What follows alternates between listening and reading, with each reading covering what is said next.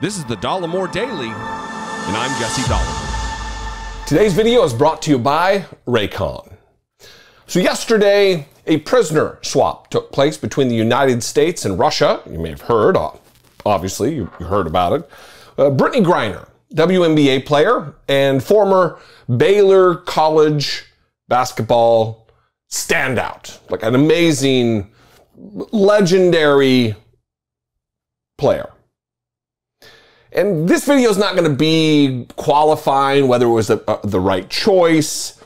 Uh, I definitely believe that it's okay to question uh, whether or not the, the individual who was let free, uh, who we held, should have been let free. I think that's okay. But, but I have enough faith in the Biden administration, having them having all the facts that I don't have that I'm going to defer to the judgment that was made. But the right wing, Republicans, collectively lost their minds over this because there's another gentleman being held by Russia named Paul Whelan who served in my United States Marine Corps. And they're doing this value judgment thing that he is more worthy of release because he's a hero who served in the Marine Corps and she's just a professional athlete or a black lesbian, as you're going to hear Tucker Carlson talk about. And I want to push everyone away from making that value judgment.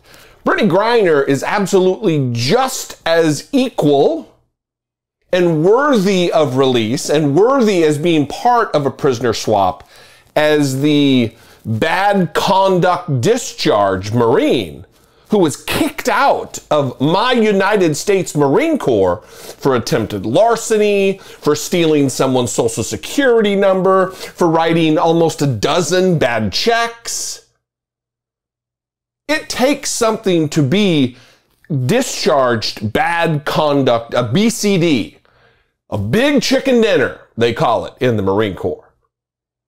It takes something. It's not just, oh, you, you smoked weed and you got kicked out. That would be like an administrative discharge. But the right wing is not going to let you know all that. They're just going to put the picture of him in his dress blues. And oh, it's the heroification of anybody who served in uniform. We're going to talk about all of this. I got some clips. We're going to read some tweets from Tomi Lahren, from Marjorie Taylor Greene, a video from Tucker Carlson. Before that, though, a word from today's sponsor, Raycon. As we approach the end of the year, does your mind begin to race with everything that must get done before you can properly enjoy the holidays? All the loose ends at work, all the errands before you travel or before your guests arrive, and then all the presents. Ugh. How does it all get done? With Raycon. Raycon's lineup of wireless earbuds, headphones, and speakers has you covered for every conference call, every gathering, and every gift. All Raycon products offer premium sound, a ton of useful features, and up to 54 hours of battery life. With their almost custom, comfortable fit, I wear Raycon's everyday earbuds every day. They're not coming out. I wear them when I'm working, when I'm out, and when I'm working out. Click the below description link or go to buyraycon.com slash Dollemore to get 15% off site wide with code HOLIDAY. And for December, Raycon is holding a countdown to Christmas with new pop up deals every day. Keep your ears peeled. Think about the benefits of Raycon products during the holidays alone. You can kick off the Yuletide shindig with one of their excellent speakers or tune out obnoxious relatives with a pair of noise isolating earbuds. Raycons also start out at half the price of other premium audio brands for those gift purchases. And their site offers free shipping, free returns, buy now, pay later, and 30 day happiness guarantee. So this year, allow Raycon to make your presents many and your troubles few. Head to buyraycon.com slash dollemore or simply click the link in the description below to get 15% off site-wide with code HOLIDAY. At buyraycon.com slash dollemore, tis the season for better sound. So let's start with a tweet of my own. Yesterday, in response to conservative dum dum Clay Travis, well, he tweeted this. We'll just read that first. Joe Biden traded a guy called the Merchant of Death for a WNBA player and left a U.S. Marine behind in Russian prison in, in the process. Uh, Biden's a complete and total disaster on everything, he says. So I retweeted with, uh, quote tweeted, I guess it's called. Uh, number one, it's Marine with a capital M, not Marine. But you wouldn't, you don't know that because you didn't serve. Clay Travis. More of a jab than anything. Number two, the more substantive issue that I took uh, to Twitter. The, the, the U.S. Marine in question isn't a noble hero. Paul Whelan was kicked out of my Marine Corps after a bad conduct discharge for larceny. I was incorrect. Actually, it's attempted larceny. Uh, not saying, I'm not saying he doesn't deserve release, but let's not play that value game with Marine versus WNBA player. And because I like to bring receipts, here on screen is um, an appeal that he made regarding his conviction. A military judge sitting as a special court martial convicted the appellant consistent with the pleas of attempted larceny, three specifications of dereliction of duty, making a false official statement, wrongfully using another social security number, and 10 specifications of making and uttering, uh, and uttering checks without having sufficient funds in his account. Uh, for payment and in violation of these particular articles the Uniform Code of Military Justice.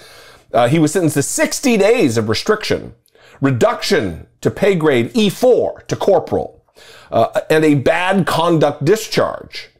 And the uh, convening authority approved the sentence as adjudged. He was trying to get an appeal to either have this thrown out or reduce sentence. And this particular um, proceed, uh, proceeding found no, this was proper. This was legal. This was fair. This wasn't harsh. So we can dispense with the, oh, the lionization of this man because he served. I'm not special because I served in the Marine Corps. Neither is he. He's no more worthy or deserving of being a part of a prisoner swap, excuse me, than Brittney Griner. You wouldn't know that if you read uh, Marjorie Taylor Greene's tweet. Another reason to impeach Biden, she says.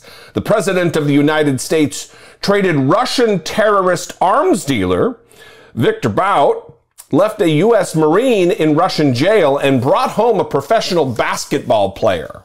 How many people will this guy now kill because Biden set him free? Some of that is valid questions. Are, excuse me, valid questions. But impeach Biden because he made an executive decision? A literal executive decision, being the head of the executive branch? A lot you saw on Twitter this is where this all kind of played out for me, was watching conservatives. Why didn't Biden drop the ball? Didn't get this guy out? When John Bolton, the former uh, national security advisor for Donald Trump, said Donald Trump had an opportunity to get this guy out and didn't do it. Donald Trump was in office for two years during this guy's imprisonment, and he's still there. So if there's failure involved, it's not just Biden. But th- their golden god, their dear leader, mm, no, he did nothing wrong. Tomi Lahren, the little Nazi Barbie, said this I wonder if Brittney Griner will sing and stand for the national anthem now that the United States has compromised national security to free her. It's all about the song. Every time it's about a song.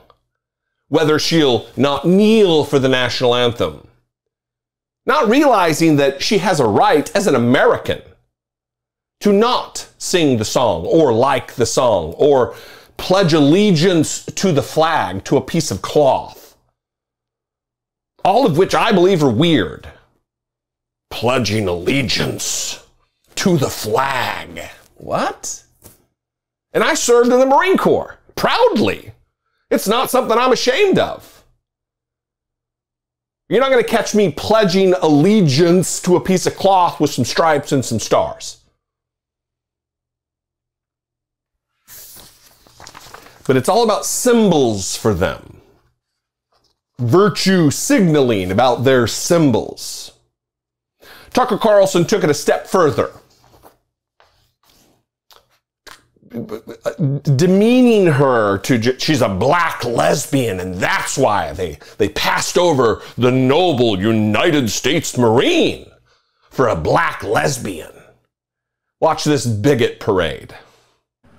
So at this point, we can assume the obvious. The Biden administration chose Brittney Griner over Paul Whelan, the basketball player over the Marine facing 16 years. There was only room for one, in the lifeboat, and the Marine got left behind. Well, why'd they make that choice? Well, you should know that Whelan is a Trump voter, and he made the mistake of saying so on social media. He's paying the price for that now. Brittney Griner is not. She's got very different politics. Brittney Griner despises the United States. She's been very vocal about that. This country is so repellent and immoral that two years ago she said, quote, I honestly feel we should not play the national anthem during our basketball season. She hates the country so much she doesn't want to hear its anthem. That's the kind of position that gets you rewarded by Joe Biden. Hate America? Perfect. We'll free the guy who sold weapons to drug cartels to get you out early. So there's that. And then there's the matter of identity, which is central to equity. Brittney Griner is not white, and she's a lesbian. Now, those facts might seem irrelevant to you. We hope they do seem irrelevant, because they are. So irrelevant to Tucker Carlson that he makes it a feature of what he's talking about. So irrelevant to this colorblind, oh, I don't even see sexual identity. I, I don't even see uh, gender identity. I don't even see race. Oh, but I'm going to talk about it ad nauseum. These people don't see in shades of gray. They can't see that someone like me who criticizes the country loves the country. And the reason I criticize is because I want our country to be better. They, they cannot see that. It is anathema to them. That's their blind spot. They can't see that criticizing the national anthem itself, the song with that, the other verses that we're not taught in school are all about recapturing slaves, putting them back in bondage. Francis Scott Key was a slave owner an enslaver of human beings. And before, before you start ranting and raving about how that was just the way it was back then, no, it wasn't.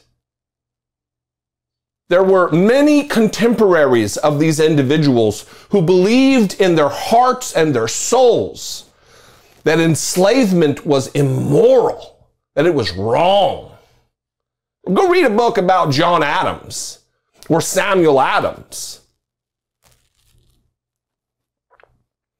Brittney Griner is not less than. She's not less than a Marine. She's not less than someone who loves the national anthem. They're not better than her because they pledge allegiance to the piece of cloth that represents our country.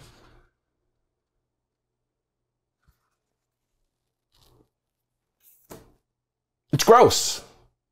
It's bigoted. And obviously, it's bigoted from the white supremacy fireside chat nightly on Fox News. It's gross and good. I'm glad she's out. And it's a bummer that Paul Whelan is still finds himself incarcerated in Russia. Absolutely. Trump supporter or not, we should be fighting to get our citizens out of incarceration, especially in unjust situations, without doubt. And the only reason I point out his, his criminal record and his bad conduct discharge is to dispense with this hero myth. But as always, I'd love to know what you think. You can call, leave me a brief voicemail, 714 576 4054. Of course, you can email me daily at dollemore.com. Follow me on social media. You can read the tweets. at Dollemore, Twitter, Instagram, TikTok, at Dollemore. That's where you can find me. And if you appreciate what I do, my sometimes nuanced takes, you can click the join button below, become a channel member, help support and produce what I do right here You can also go over to patreon.com slash I doubt it podcast. You can also go to dollemore.info and buy uh, buy the merch that we sell. We've got a I don't care what the founding fathers said, a new design. We've got uh, this fight poverty, not the poor. Uh, we've we've got abolish the filibuster, a brand new design, which is great. Anyway, uh, every purchase goes a long way to supporting and producing what we do. I love you guys. I appreciate you. I'll see you next time. Be genuine. Take care of one another.